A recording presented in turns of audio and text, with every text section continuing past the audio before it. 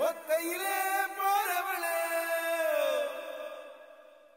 கரடி வந்து வழி மறிச்சா காட்டுக்குள்ள என்ன செய்வ?